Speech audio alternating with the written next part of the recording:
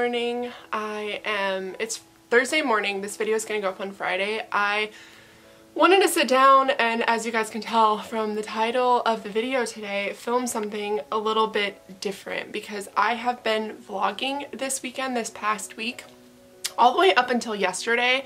And watching back the footage, I realized that I, you guys are gonna know me and you're gonna know that I'm not feeling 100% and I'm not necessarily saying that I'm feeling particularly terrible right now, but I am feeling bad enough that all the vlog footage really showed that. And I've been pretty transparent about mental health on my channel. It is something that's really important to me. It is something that I have struggled with for a very long time. I've had OCD my entire life and that's like the thing that's really rearing its head at me recently. But the last couple of days from Monday until today, I have been very anxious and I wanted to sit down and talk to you guys about what I do to try to nip that in the bud because if you have anxiety or you have OCD or you have anything like that, you can kind of tell when it's coming.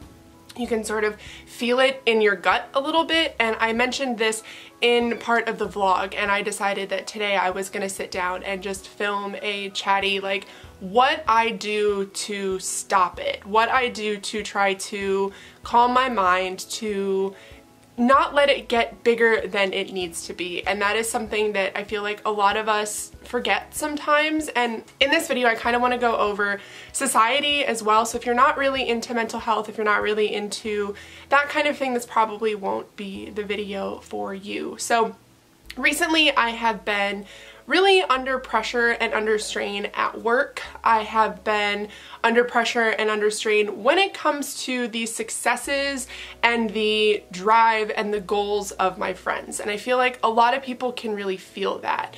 You know, you look around, like a lot of my friends are married, having babies, have good careers, and I am doing good for myself, but I wouldn't say that I'm doing as well as they are. Obviously, I'm in the middle of getting a divorce. Totally fine. Like that is something that I chose for myself, but you know, it's still hard. I've had the same job for four years that is steady for me and I do enjoy it.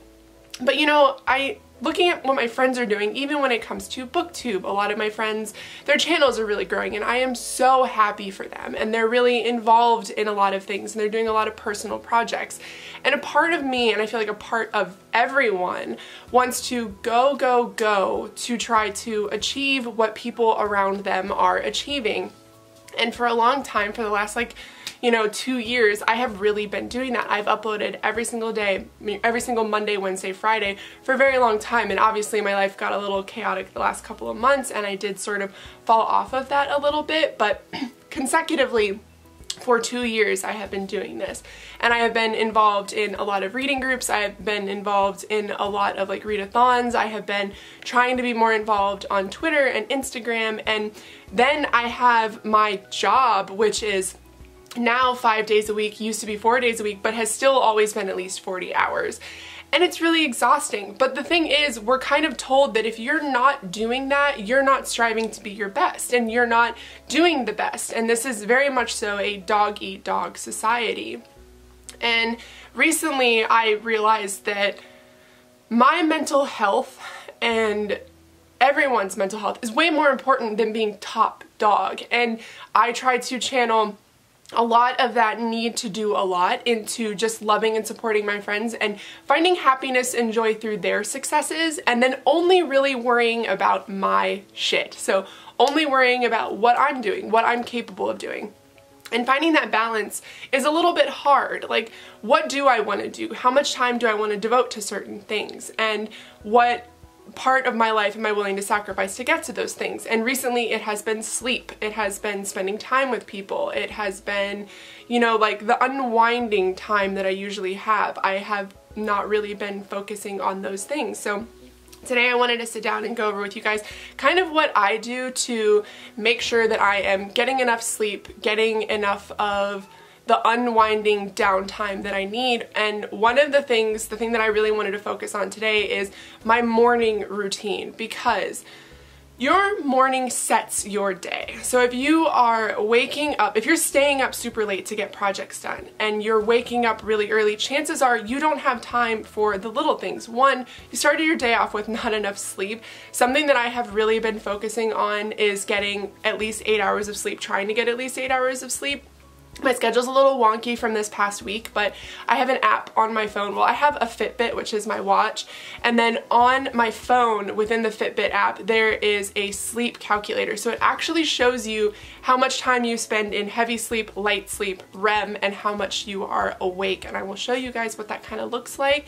And that has been so invaluable to me. And I've been reading up a lot on sleep. So before I go to bed, about an hour before I go to bed, I will maybe put on like an audiobook or a video but I will turn off the screen so I'm just listening to it. I try to be screenless and I will read. So I'll read a book, I will read sometimes on my tablet but I always have blue light filter and like the nightshade thing that they have for it.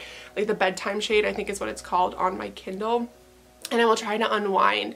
And I make sure that my room is not super, super warm. I make sure that my bed is really comfortable. That is something that's really important to me, just to, to get enough sleep. So like I said, I have an actual timer that reminds me, hey, it's time to unwind, it's time to get off the computer because if I'm sitting at my computer, I will work on my computer for hours. I will work on my computer up until the moment that I lay down to go to bed and that's not okay. You should be in bed kind of getting ready and that can include taking a shower. That's really good if you aren't getting sleep. If you take a shower before you go to bed, it tricks your body into kind of cooling down in a way and showing it that it's time to go to sleep that's another thing that's really been helping me.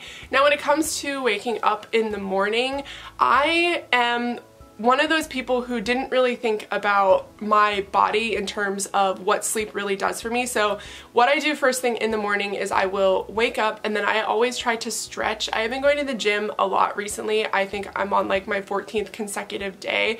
Today I'm going to take a rest day. Today my brain and body really needs it. So I'm going to take a rest day. That's really important if you do incorporate exercise. But one thing that I always do is I stretch first thing in the morning.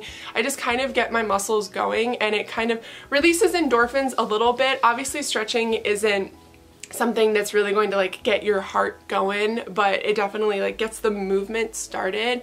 And then I will make my bed. That's another thing that's really important to me. I read a study where a gentleman said that when he has people come into his office he's a therapist obviously but when he has people come in and they say they're having really bad anxiety or you know any kind of flare up for some mental illness he says go home and commit to a week of eight hours of sleep, no tablets, no nothing before bed, getting off your phone, getting off the personal projects, and just really getting to sleep for eight hours, and then waking up every single morning and making your bed. I have been making my bed for the last two months straight, and I have to say, you can really tell when I don't make my bed, the kind of mental state that I'm in. So the first thing that I do is try to make my bed so that when I come home, there isn't a mess. And I know it's just your bed, but it is a mess that you're coming home to. This obviously doesn't apply to everyone. And then the next thing I'll do once I've made my bed is kind of lay back down and read for a little while. Sometimes when I first wake up, I'll read. I'll take time to just lay around and read. I have another, I have an alarm on my my watch that wakes me up and then I have another alarm that is set for a half an hour later that I know to actually get out of bed. So depending on how much energy I have in the morning, I will just lay in bed for a while or I'll get up and immediately make my bed and then lay back down and just kind of read or, you know, work on something, something that isn't too much work. You don't want to be starting your day off with work right away. Waking up and going to bed should be a gradual thing. It should be a very selfish thing where you're really just focusing on yourself. Another thing that I like to do every day is skincare.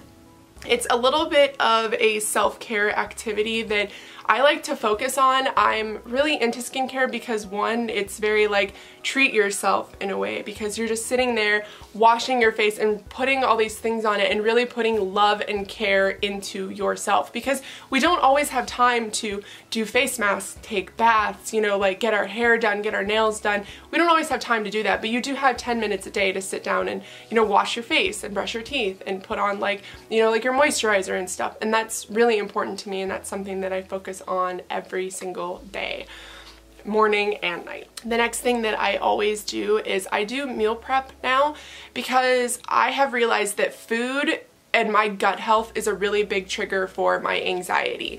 So if I'm eating really badly and I'm feeling really full and I'm feeling very sluggish, it does make it hard to be active, which is something that I truly love to do.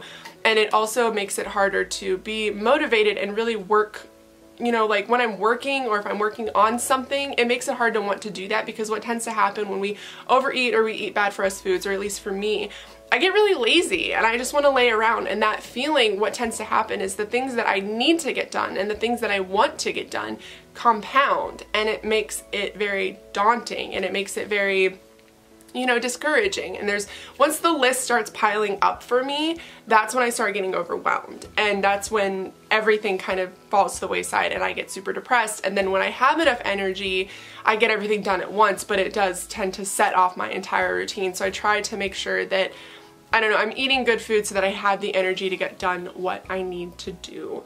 And the last thing that I do that I have been doing daily is going to the gym. Obviously I've been talking about it in my vlogs and stuff and I don't I'm not doing it to lose weight. I'm not doing it for anything other than I want to feel strong. So growing up, I am one of nine kids or was one of nine kids. My oldest sister passed away, but for me, growing up where I grew up and having the friends that I had and having the family dynamic that I had, I wasn't raised to necessarily be like dainty or super feminine or anything like that. And I didn't struggle with that identity until I was in high school. When I hit high school and I got my first real boyfriend, I wanted to be more feminine. I wanted to wear makeup, which obviously I still do. I wanted to wear dresses and heels and things like that. And while I still can do those things, my focus has kind of shifted to I want to be strong. So I want to be able to play sports. I want to be able to lift weights, which is what I do most days of the week. I just want to be strong and I don't want to try to force myself to fit into a bubble, but also working out, whether it be any kind of cardio, which I don't normally do, or just lifting weights with my friends, or just having the motivation to go to the gym, that really helps with my mental health because once I'm done, my endorphins are going and they do last for a really long time. So normally when I go to lay down for bed is usually when my anxiety or my OCD is the worst. Um, because I have tinnitus and that's I, it's like a recent thing that I have discovered unfortunately. And it's really easy to ignore but if you have it you understand that when you become self-aware that you have it it does bring you a lot of anxiety. So when I lay down that's when it is the worst for me. And working out exhausts me to a point where I'm able to sleep and I'm able to sleep better. And that goes full, full circle into getting enough sleep to start my day off right. When it comes to mental health, those are the things that I do to kind of, that's like my routine. That is what I try to stick to to make sure that I, when I feel very anxious or when I feel very down or I'm feeling, you know, very upset about something or discouraged or hopeless, whatever it may be, I go back to these things because they are routine. Because what tends to make my anxiety really bad is not having the answers, not knowing what's going on, not knowing what's going to happen. But I know every single day how my day is going to start and how my day is going to end. It's just the shit in the middle. And if I set myself up for success, success the night before and into the morning, then it tends to make the unknown a lot easier for me. So I hope this video was helpful. I realize that we are all going, going, going all of the time. And while that is fine, it's not a necessity. It's not something that we always have to do. You can take time for yourself and you can take time to just relax and not worry about all of the projects you need to do and realize that your anxiety and dealing with that is more important. But enough rambling from me. I am sorry that there wasn't a vlog. I know none of you are going to be particularly upset about that because you kind of understand, but I just feel like a lot of us are going through this right now. I feel like majority of my friends are a little bit older and trying to figure out kind of where they go in life and their body is feeling the strain of constantly working on projects and constantly trying to do the most and be the most and be successful and we need to realize that it's okay to take a step back and really focus on yourself. So I love you guys. I hope this video was helpful. If you are feeling some type of way, I definitely recommend talking to somebody if you have any kind of health care or you're able to go see someone, I would do that. A lot of people, me included, unfortunately, have to figure out other ways because there aren't a whole lot of resources for us to be able to see somebody. That's definitely something that I, unfortunately, don't have access to. So these are just my tips to making sure that I don't spiral and things don't get really bad. But yeah, I love you guys. I hope you are having an amazing weekend. I hope you guys are having an amazing Friday. I will see you guys in Monday's video and hopefully next weekend I will be able to have a vlog up. But I love you so much and I will see you guys in my next video.